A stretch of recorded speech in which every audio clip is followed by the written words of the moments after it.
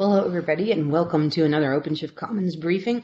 I'm Diane Mueller, and I'm really thrilled to have with me today Tal Liron from um, the Telco Solutions and Enablement Group at Red Hat, um, part of the, the Office of the CTO, coming to talk to us about um, Kubernetes operators for telco workloads, which um, basically covers every buzzword bingo of every conversation I've had probably for the past week with the telco teams and the operators team, and everybody does love um, a bit of Kubernetes. So um, I'm really thrilled. Uh, Tal has really thought a lot about um, the pattern of Kubernetes operators and wrote an incredible internal white paper, which he's turned into an external one that we'll give you a link to at the end of this. Um, and I think he really kind of expressed the role of operators um, and and really explained uh, the greatness of um, using this pattern. So I'm going to be quiet and let Tal um, walk through his, um, his, his thinking around this topic. And you can ask questions in the chat. We'll leave some time at the end. Um, wherever you are um, on whether you're watching on YouTube or BlueJeans or uh, in Twitch, um, you can ask questions and we'll relay them back to Tal at the end. If we don't get to all of your questions, we will um, post it in the blog and try and answer them in a blog after this. So with that um, intro, Tal, um, thank you very much for today um, and taking the time. Um, Tal, tell us about yourself and take it away. Well, thank you very much for the kind introduction. So I think you covered everything. I'm an engineer in uh, the Telco Solutions and Enablement team at uh, Red Hat. We're part of ecosystem engineering.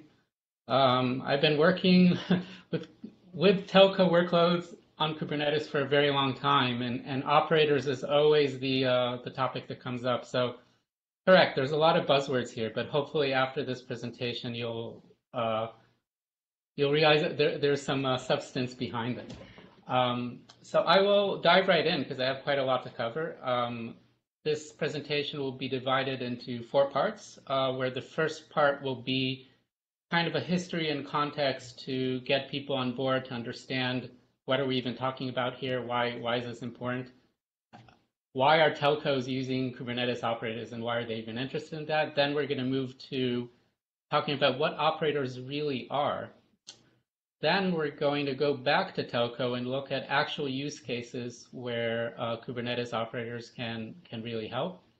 And finally, I'm going to discuss some, some practical considerations. So much of this presentation could be interesting for people who are not working in telco and are just generally interested in what operators can do. So um, we'll, we'll move in and out. So, oops. Here we go. Part one, how did we get here? why, why are we talking about uh, telco workloads and Kubernetes operators? I'll give you some prehistory in this graph, uh, in this uh, slide. So um, the issue is network equipment. and from, from the very start, uh, uh telcos have been uh, decoupling things. So this is a history of decoupling to an extent, where you, you had big networks run by big telecommunications company. Think about a transatlantic uh, telegraph, right, in the 19th century you have all kinds of equipment along the way, but it's always been decoupled. Uh, that is, we had network equipment providers that made and sold the the the, uh, the equipment and also serviced it, and then you had the operator. And here, operator in the telecommunication sense. So we have we have a little bit of confusion here, but um, these uh, in this case, when I say operator, I do not mean a Kubernetes operator.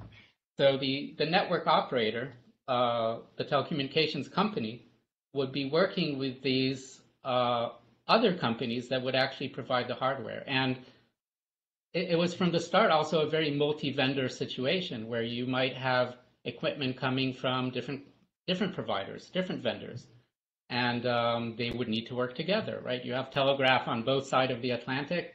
They might be uh, bought by two different companies, but they have to work with each other. So standards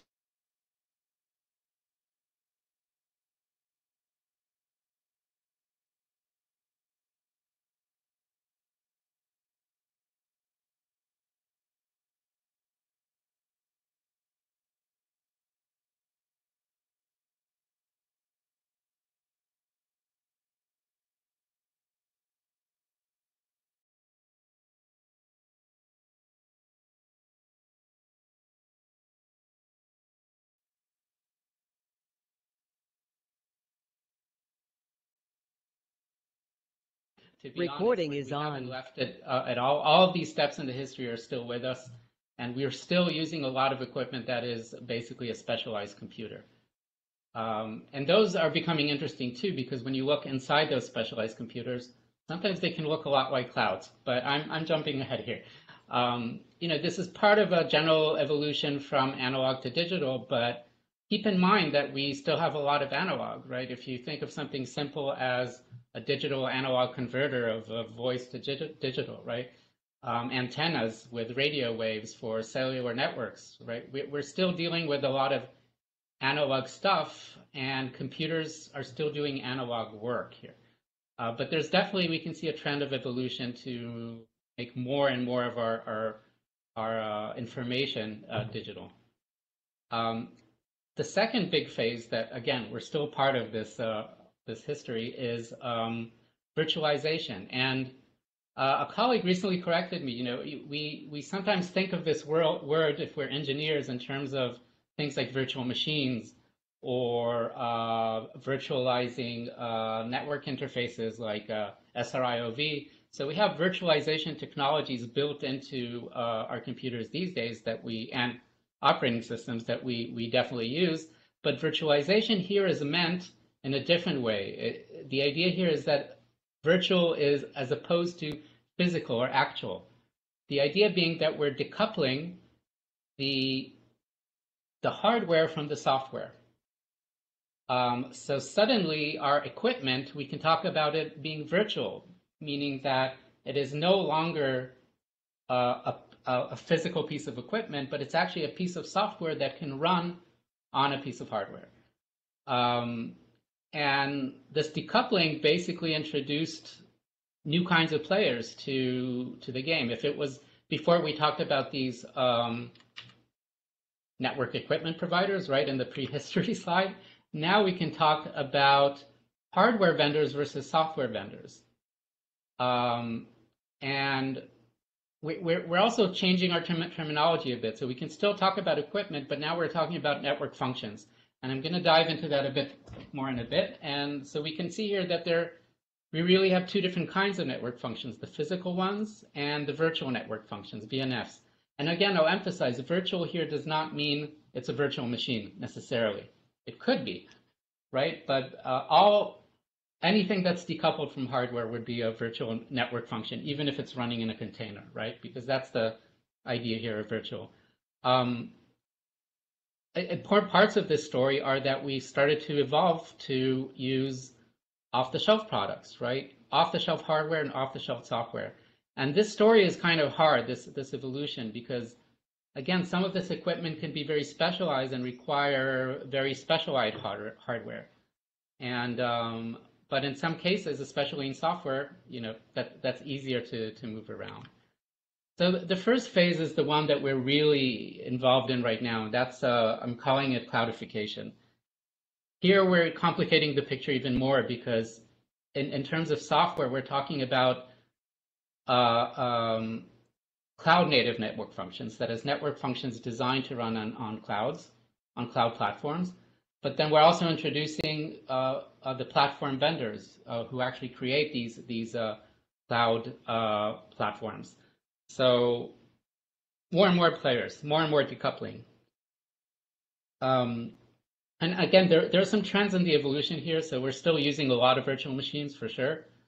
But the trend is also to move to containers uh, in many cases. And possibly the most interesting trend for us here in, in this presentation is the move from what I call management to orchestration. Uh, moving from something like OpenStack to something like uh, uh, Kubernetes. And here, here it's important. The move from OpenStack to Kubernetes is not just a move from virtual machines to containers. That's actually the least interesting part of it. The real interesting part is that we are uh, no longer prov providing infrastructure, but rather orchestrating our workloads. Um, that's what Kubernetes really brings to the table. Um, and I'm, I'm very, I'm oversimplifying this quite a lot here. Uh, there's a lot going on, but um, I, my point here is just to give you context. And I'm mentioning here we're also using public clouds in some cases. Um, and that might sound strange to you. Why would a telecommunication, a network function run on a public cloud, well, so much of it ends up being looking a lot like enterprise software or IT software even. Think of a, a cellular network where you're connecting uh, your cell phone with a SIM and somewhere there's a record of that SIM and who it belongs to and to what account. Um, there's a database where all of this is stored with security keys, etc. That's kind of an, a normal IT workload that could potentially uh, uh, run on just truly generic hardware and truly generic clouds. And they could even be public clouds. So, so that's, that's the overall context of where we are. And it's, it was important for me to present all this because uh, all of these steps, these three steps are still with us. And that's part of the story of where Kubernetes operators become interesting and useful. Um, okay, now let's switch gears and move to really discuss uh, something more abstract. What are these, what are these operators that uh, we're talking about? Um, there's something called the operator pattern, which is has been with us for a quarter of a century right now. I'll open the link here. This is the oldest uh, version that I at least found on the internet, but I'm sure they're older. Uh, from 1997, the operator design pattern for parallel computation. um, and my point here is that it's really used in a computational sense. Uh, and we're, we're not talking about functions, you know, even when we talk about network functions and uh, before, we're, we're talking about something that does continuous work. So don't think of it in terms of arithmetic, and also don't think of it in terms of a computer program calling a function, right? That function is triggered by one thing, and then it ends, right? The function is called, eventually it returns. Uh, and operators are kind of the same in that, in that way. But here we're talking about things that do continuous work. The network function is constantly functioning, and the operator is also continuous, uh, uh, continuously doing its work. Um, our context here is really um, if, when we apply this to uh, a declarative intent-oriented orchestration context, just like Kubernetes, uh, the operator has a special meaning. It consumes intent as its input and emits intent as its output. And the next slide, if, if that's not very clear, the next slide, uh, we'll talk about it a bit more. But again, I'm emphasizing the fact that this is continuous. The operator is continuously monitoring that input if that input changes and continuously managing the output uh, to make sure that it, it matches our, uh, our intent. Uh, we can see here that we can divide really operators into two kinds. There would be pure operators that have no side effects and that all they do is consume intent and emit intent. But a lot of times we, we're interested in impure operators that do additional work in addition to emitting intent. And let's take a look at some applications of uh, the pure operator pattern in Kubernetes, and hopefully that will clarify what we mean here. Um, so um, there, there are many examples of this, but this is probably the, the most uh, uh, accessible to everybody. Think of creating a deployment in Kubernetes. Uh, the deployment uh, descriptor uh, will be managed by the deployment controller, which in this case is an operator. Uh, so the deployment controller will take that deployment and create a replica set. So the intent uh, consumed by this operator would be the deployment, and the intent emitted and managed by the operator would be the replica set. Uh, and this is a pure operator, right? Um, the deployment can, um, you know, if we delete the deployment, the replica set will be deleted as well, and uh, they're tied together. Uh, the second operator in the chain is also a pure operator, and that's the replica set. So now we have the replica set controller, and the replica set controller takes that replica set descriptor and emits pods, one or more or zero or more pods, uh, and, and with their descriptors. And again, it's a pure operator. That's all it does. It, it doesn't have any side effects. That's its entire job. Finally, we reach the pod controller, and in this case, we are not applying the operator pattern uh, or at least not in a, in a strict sense, because we are actually terminating the operational graph and moving to the real world. Here, we're only interested in the side effects, the actual containers that are going to uh, match, work with the pods. And the pod controller makes sure to work with the con container runtime to connect those to each other. Um, so we have a graph. right? We have a graph of two operators reaching, and they're terminated at, at one at one side. So one way to look at this graph is that we move from the left side, the more abstract, to the right side being more concrete.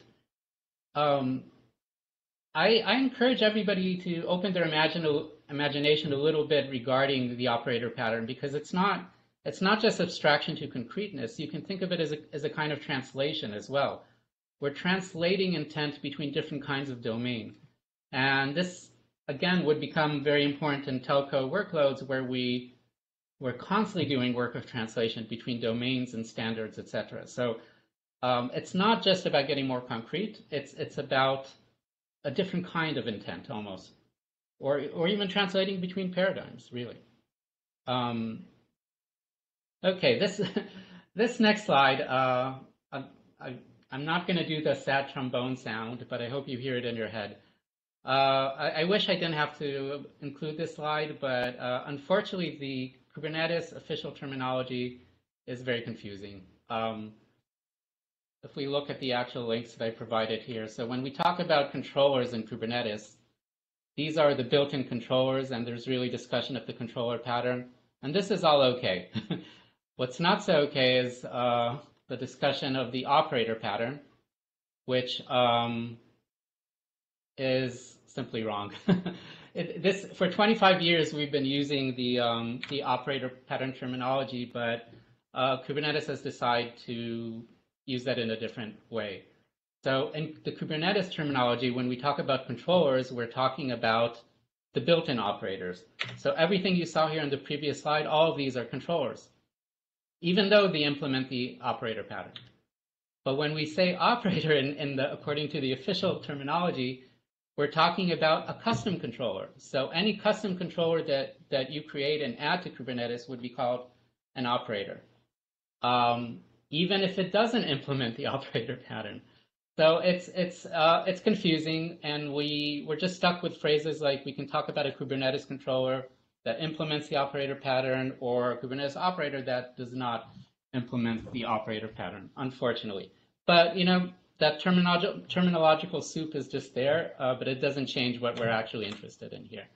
And, um, and, and that's the important thought. We, we care about Kubernetes operators even if they don't apply the operator pattern.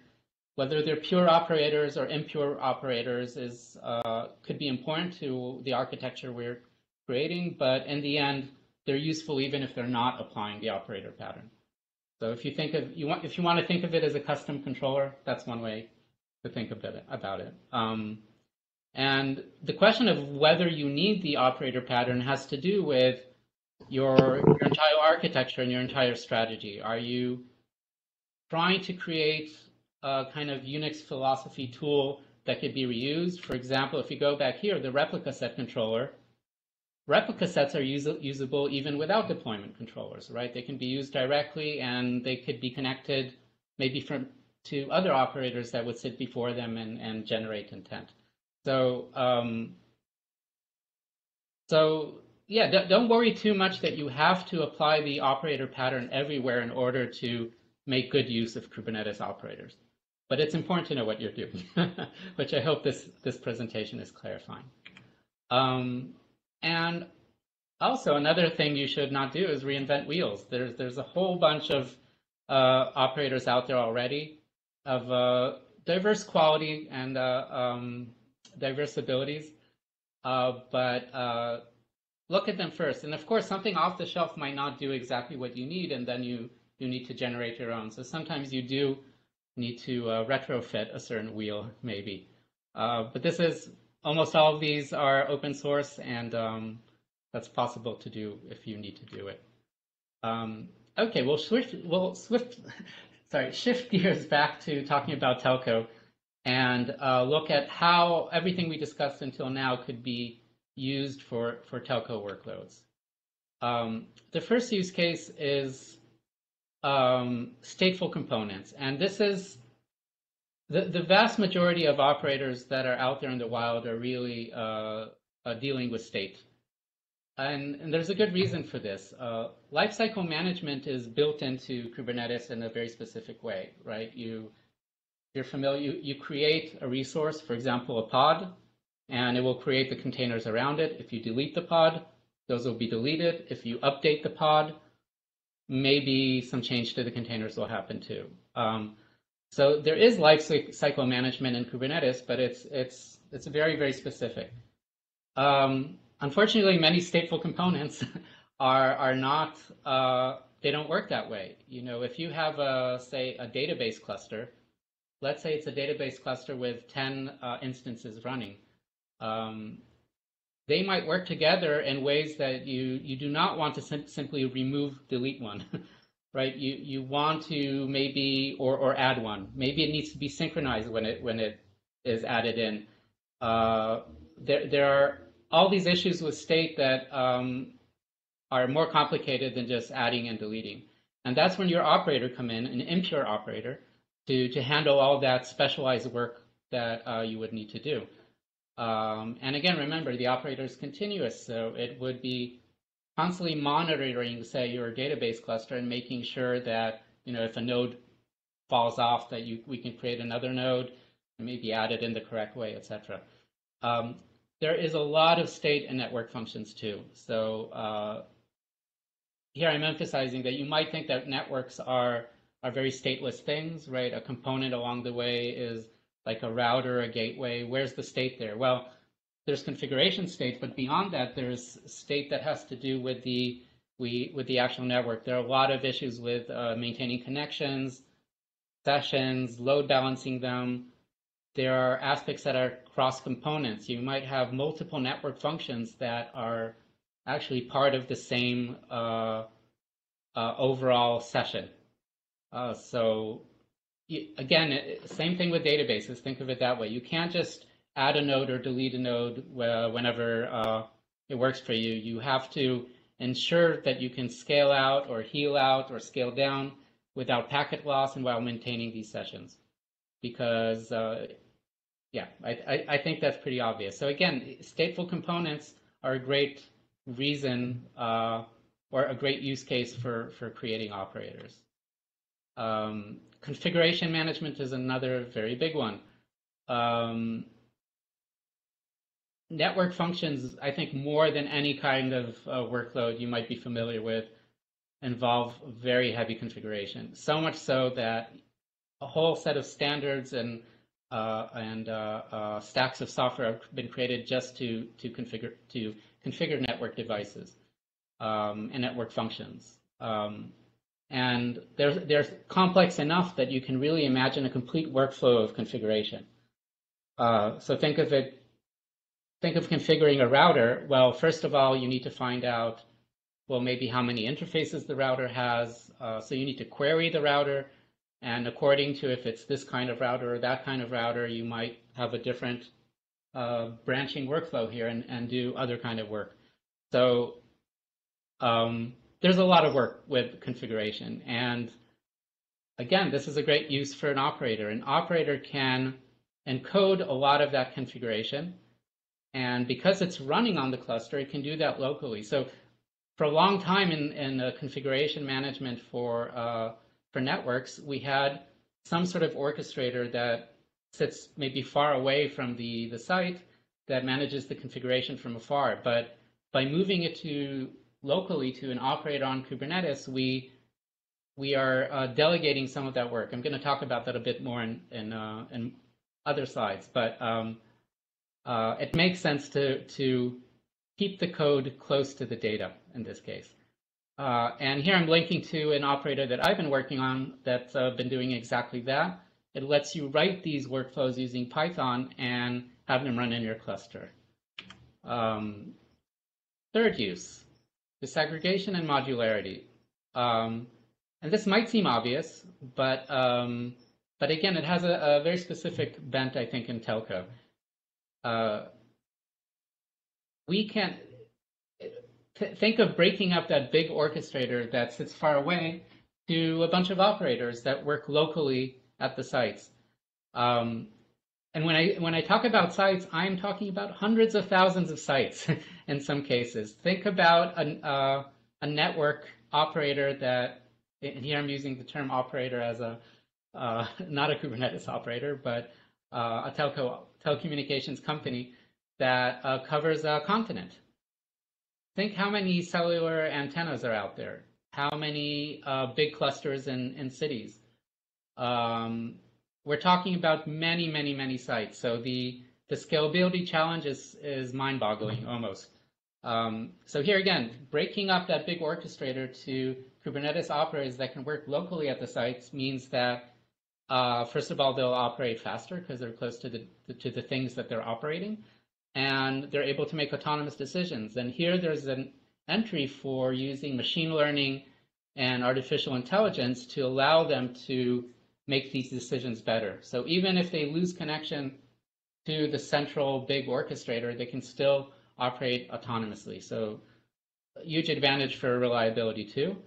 Um, and huge advantage, I think, to design. You can create an operator that does one thing well, rather than work on a very big orchestrator, which could be an enormous project. And um, um, yeah, you can separate it off. So so um, it fits again with our, our history of decoupling. So let's add more decoupling. Um, we can think of these then as these operators as part of a large orchestration narrative. And um, so they fit in with other things. And again, you know, they accept intent and they could emit intent. And you can think of it as part of a, a big graph that uh, that really describes your your entire orchestration strategy. Um, the fourth use sounds like the opposite of the first use, the, the previous use. So yes, you can you can you can disaggregate, but you can also use operators to actually integrate. And we see a lot of operators like this, actually, operators that are installers. So think of creating a custom resource that describes your whole product. We see that a lot with databases, for example. So uh, you'd like to install, say, a MariaDB cluster. Well, the MariaDB operator will install all of those for you. Um, installer is not the best word for those because we're also talking about uh, day two changes. That is, after it's installed, you might be updating it and you'll want to see those changes happen as well at least if it's if it's a good operator. um, there's there's some history to this that uh, uh, predates um, uh, Kubernetes and really predates cloudification. Um, the, the terminology here, I'll just go over briefly. Oh, for a long time, we've been talking about uh, um, uh, specialized virtualized network function managers versus generic virtual network function managers. The idea being that uh, uh, an equipment provider can provides the equipment, but also the virtual equipment, and also provides a management suite designed for that equipment. So we would, if we want to manage the equipment, we would work with that uh, management suite. But a lot of us have been hoping that there will be generic versions of that. So we wouldn't have to reinvent the wheel every time we're using different kinds of equipment and have something that might be specialized and quirky. So, um, so that kind of manager would be able to be configured or changed or programmed in some way to handle other kinds of CNF. So that's again something that I'm, wor I'm working on specifically. Uh, there's a project called Turandot, which is a Kubernetes operator that uses Tosca to to configure what kind of uh, network functions you're working with or gen general workloads.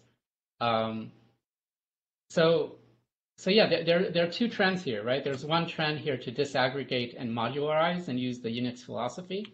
But there's another trend where we can encapsulate all the work inside an operator.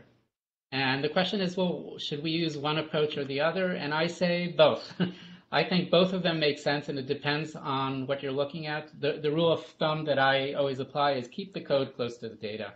So if that means that you want to integrate it into an operator, then okay, you're, you're integrating. And if that means the opposite, then you're uh, disaggregating and using the operator to modularize.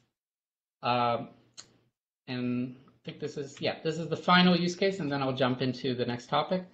Um, why not do all our work in Kubernetes? So if you remember, we still, the three phases of history that I started with are still with us today. We still have uh, physical network functions, and they're not running on the cloud, uh, on any cloud platform. They're running on some sort of specialized uh, hardware. Um, why not manage them from Kubernetes too? So I've I've come to uh, call these representational operators because they're operators that do work on representations that exist in Kubernetes rather than the resources themselves, right? They're not running in the cluster. Now, why would you do that? Well, you're you're basically putting all your work in uh, one place. You know, if you're already committed to using Kubernetes for orchestrating your telco workloads, uh, why not use Kubernetes to also orchestrate your uh, PNFs? And um, it, it, makes sense too because the technologies end up being uh, very similar too. If you think of configuration using, say, the netconf protocol, well, the physical network functions are using it, but the cloud native network functions might be using that as well. And there are examples of the industry of exactly uh, doing that. And you know, a, a, Kubernetes operator, or you can call it a controller if it doesn't, it's not uh, applying the operator pattern, uh, that manages a box that sits outside of the Kubernetes cluster. Uh, and we can, you know, update the, the custom resource for it, etc. And uh, it would work. It would seem to work as if it's within the the cluster, the uh, within the cluster. Um, so we stay within the same paradigm. Okay, we'll shift gears again now and talk about um, well, how do we do all this, and what should be we, we be worried about, and uh, what are the pain points, and uh, this is from doing a lot of work with operators and uh, reporting from the trenches over some of the uh, uh, problems you might encounter. So, um, one one problem is the uh, custom resource definition implementation in Kubernetes. Sad trom trombone again here because custom resources are namespaced in Kubernetes, but custom resource definitions are not. They are defined cluster-wide. Uh, it might sound like, okay, that's not a problem. You can just, well, you'll just install them in the cluster. But in, in a lot of uh, uh, management scenarios, uh, you know, not everybody has those privileges. The question then becomes, is the operator part of your workload or part of the platform itself? Um, and there's no easy way around this. I hope that Kubernetes ends up fixing this. I'm, it, it would require a, a major change to, into how it's designed and how custom resource definitions are designed. But I think that would go a very long way to make operators more portable. So you can include them as part of workloads and not think that you have to install them separately. But uh, and another problem with custom resources that I'm mentioning here is that there's a size limit of about one megabyte. So depending on what you're doing, you might hit that size limit.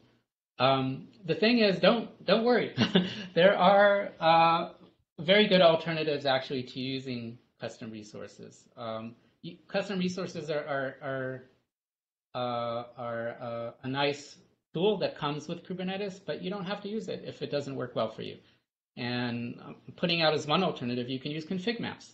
They're also general purpose uh, resources in Kubernetes, and you can use them any way you want. Why not use them to store your uh, your custom resources? You know, use them as descriptors, and you can add annotations and and uh, your own uh, validation and schema, etc. Uh, you can build that uh, yourself on config maps. Uh, another approach is to use annotations. And here we can talk about fine-grained operators, that is operators that don't work on complete intent, but work on aspects of intent. That's still an application of the operator pattern. And a great example of this is Multus. So uh, Multus would look for annotations on existing resources, and those become part of the intent, right? They're not part of the custom resource, but they're actually an additions to existing resources. So um, uh, yeah, that's a great strategy too. You don't have to start with CRDs. So again, I'm going back to that uh, page, the operator design parent pattern uh, from uh, the official Kubernetes uh, do documentation. And um, yeah, again, it talks it talks a lot about custom resources, but no, you don't have to use custom resources if, if that if they're hard to use or if they um, don't do what you need to do. Um, or, you know, another alternative is you can actually store your intent elsewhere. And sometimes it's already stored elsewhere. If you have some sort of orchestration system that you're working with or a database, you could use your the custom resource or a config map or an annotation to just point to that. So work with IDs instead of actually storing everything there. And that, of course, solves the problem of the one megabyte uh, uh, limit to each of these. So if you store it in your own database, do what you need. And yeah, GitOps, right? Um, why not store it in a Git repository too? That's another approach that you can take. So your custom resources will be the live uh, pointers to uh, intent stored in a Git repository. And your operator, again, remember it's continuous. It would, it would have to monitor it and look at uh, changes to Git. And you can do that through triggers uh, for commits and, and uh, react accordingly. Um, another practical consideration, um, and it, it, a little bit relates to the previous one. Should the, the operator be installed in the na namespace in which it's going to work, or should it be general and work with all namespaces? And for different kinds of operators, it could make sense to have one versus the other. Um, and many operators actually support both configurations. So if you want, you can install it within a specific namespace or separately. And again, this goes back to the issue of, well, if I'm packaging a network function with its dependencies, its operators, or do I say, well, are these dependencies something that the platform has to provide for, for the workload to run? So this is a question that um, needs to be solved as part of the overall uh, deployment strategy. But but technically, it's rather simple. It's it's usually not hard to create an operator that can support both of these. The the Kubernetes API server uh, always requires a namespace anyway when it works. So my advice is why not do both if you can. Make it a, a flag when the operator runs to say whether it's running in namespace or clustered mode. The difference, of course, if it needs to be work in cluster-wide mode, you do need cluster-wide permissions to install it. And of course, if it uses the custom resource definition, it does require those uh, cluster-wide privileges. Um, another practical consideration is garbage collection. Um, uh, Kubernetes has uh, garbage collection. it's nice. It's very useful for the operator pattern because the idea is that you can make the emitted intent uh, owned by the consumed intent. So if you delete the input, the output will be deleted too. Um, and that works, uh, you know, if you delete a deployment in Kubernetes, the replica set will be deleted. The, when the replica set gets deleted, the pods get deleted, and eventually the containers would be destroyed. So uh, this kind of built-in garbage collection could be great. It could really uh, add robustness, right? If even if your operator crashes, uh, Kubernetes can make sure to delete the outputted intent. Um, it's not good for stateful components, though, for the, all the reasons we stated before, where you know there's a specialized lifecycle management. So we don't just want, say, the database to be deleted. The node, maybe it needs to, we need to update a connection URL. Maybe we need to make sure that the data in the node has been synchronized before we delete it. So again, an operator can come in here and, and implement its own garbage collection. So just something to, to be aware of. Uh, decide for yourself whether you want to use the built-in garbage collection or not. Um, and finally, um, the, the, big practical consideration really is developing these in the first place. I, it's not trivial. Kubernetes is a very uh, asynchronous environment.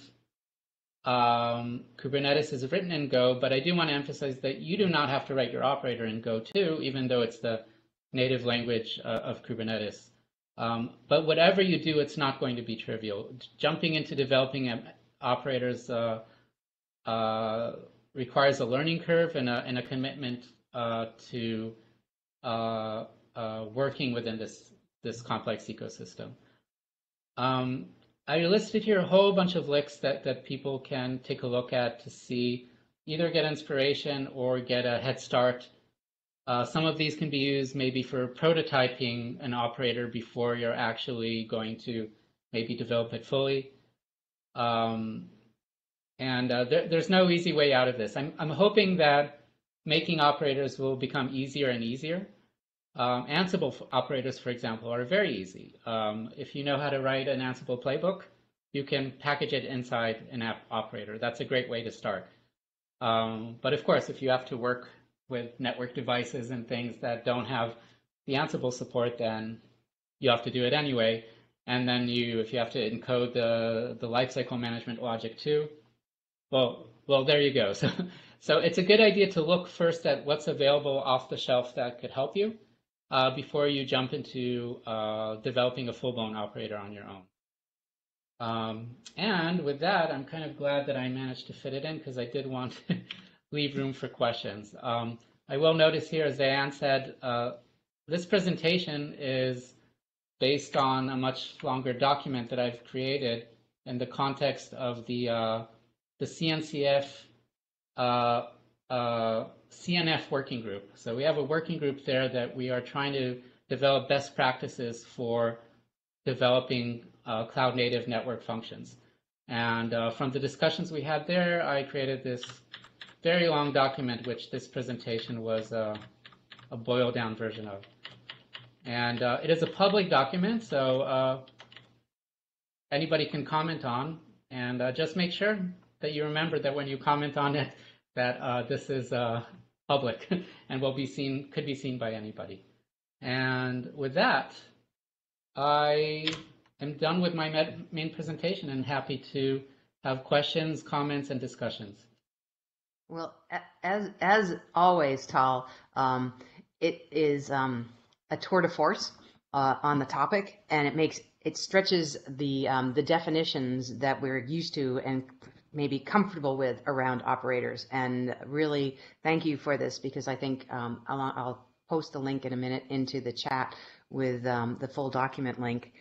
But um, I, I, really appreciate the, the distinction between pure and impure operators at the very beginning of this. I think I before I read your paper and, and listened to this, I wasn't really thinking of them in, in those terms and how the prehistory of all the operator pattern um, that we take into Kubernetes and um, we co- opt for our own purposes and how important naming things is and um, so and, and, and what the confusion could be. So i think what you've done today is really helped me and hopefully everybody else who's listening um, to, to really start thinking about this in another way and maybe a little bit clearer um, thinking about it especially in terms of the telco stuff. There's a couple of questions coming in from YouTube um, in the chat. If you see them, Rico Suave, I think that is a pseudonym, um, but maybe not. Uh, should telco loads be deployed in its own specific cluster or in a generic cluster as long as the CPUs and RAM are available? And then they... Yeah, sure. That's that's a very good question, and and uh, you know I raced through it, and as I said, I've I really oversimplified the the history. Um, generic we would love to have a write once, run everywhere universe where you can uh, write the code, write the software, and not think about uh, the hardware in which it runs.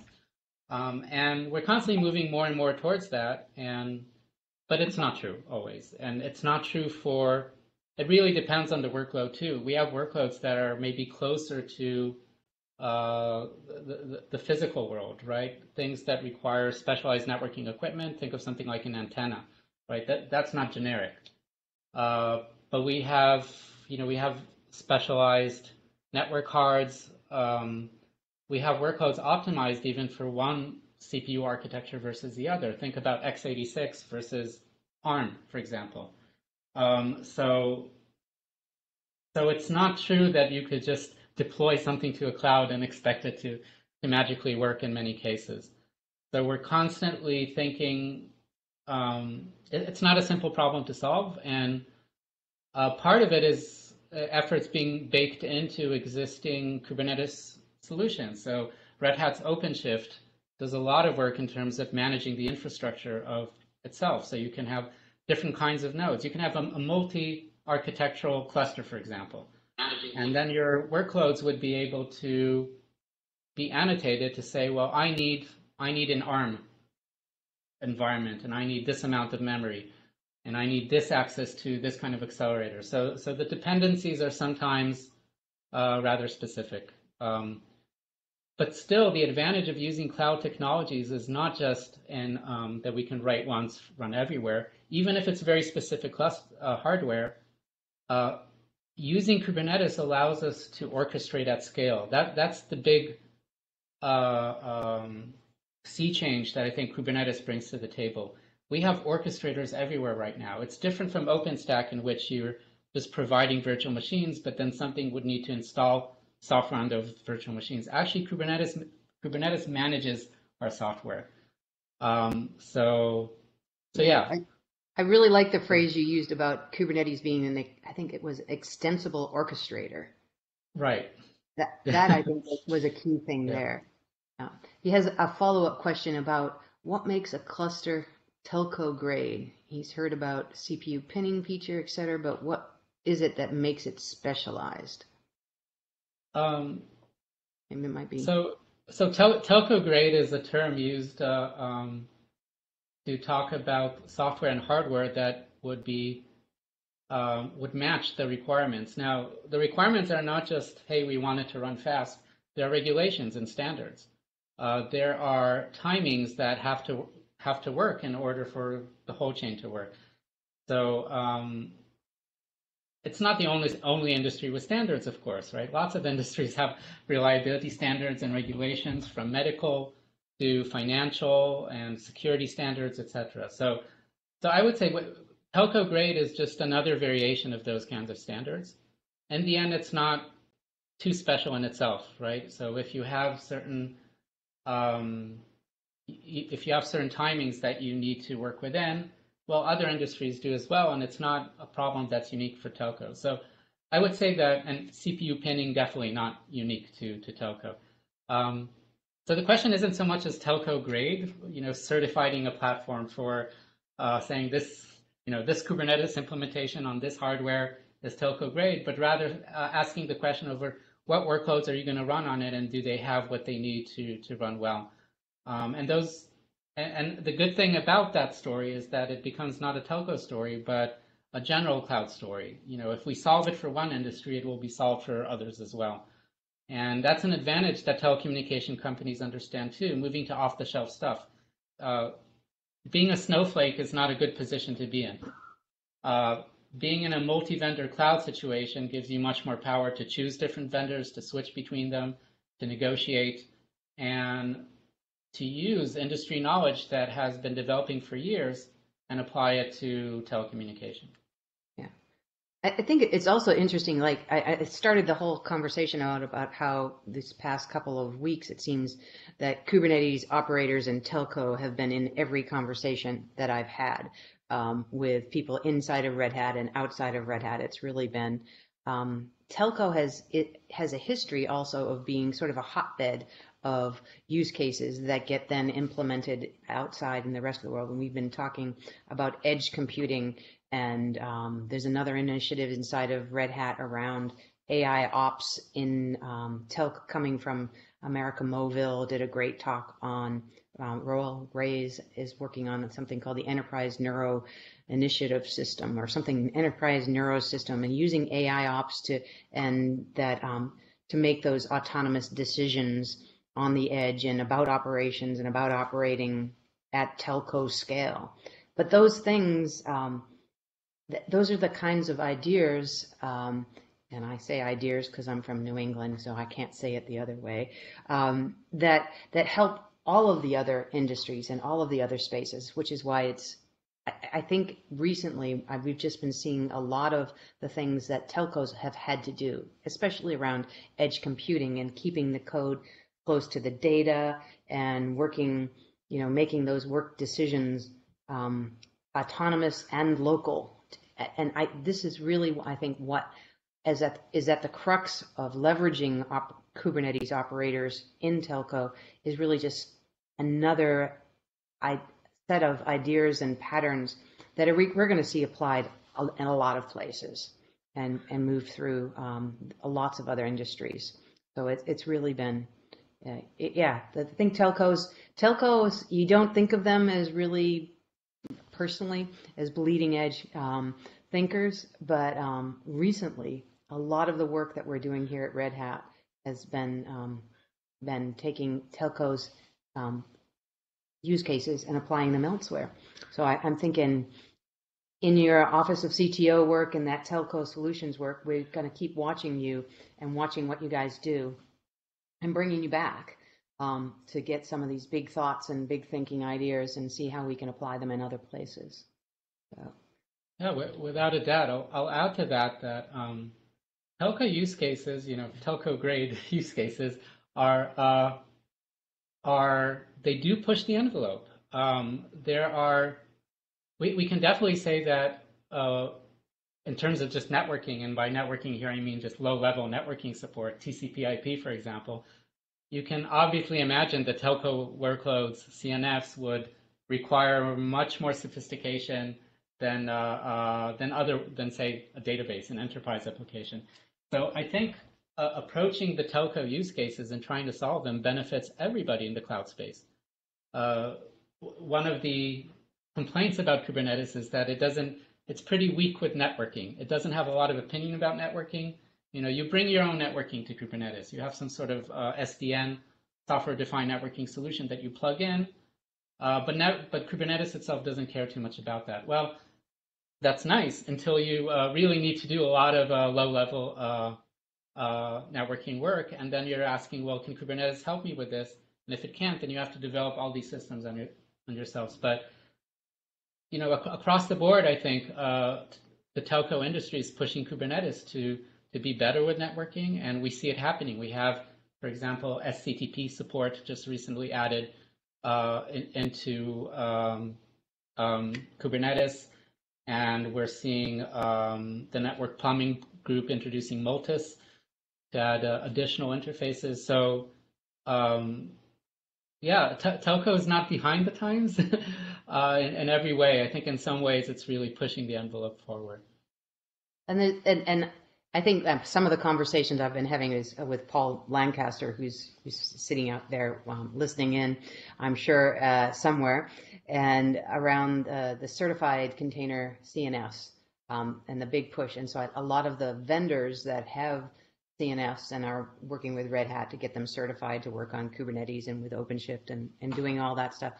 They've just been, you know, once those things are there, ah, Paul is right there. Yes, Paul, yeah, if you want to chime in, um, I think that that area is, um, uh, yeah, Paul's been um, preaching to the well, choir.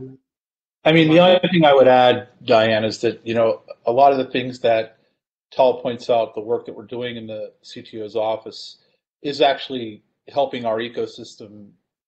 Um, you know, what we're finding is as these, as the ISVs or the business units that, that create software within the network equipment providers that are targeted, they're, they're in customers or the service providers, the telecommunications service providers.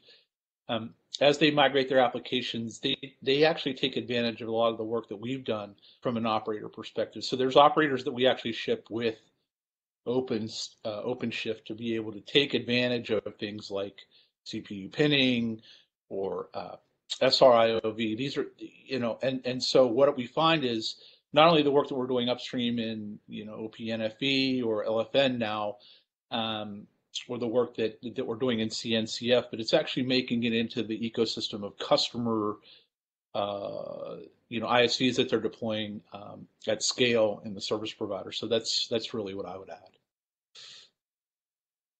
The the other thing, um, and this we're probably gonna have to, we can go a little bit longer. The live stream may end, um, but you can hang out in the BlueJeans if you like, um, and keep talking about this. Um, one of the, the, things that you brought up was about making it easier to build operators. And I know, um, and, and Wednesdays, which is today, is the, our day to talk about operators. So we've had the operator, the Java operator SDK group on last week and the week before. Um, people talking about the operator framework and and that.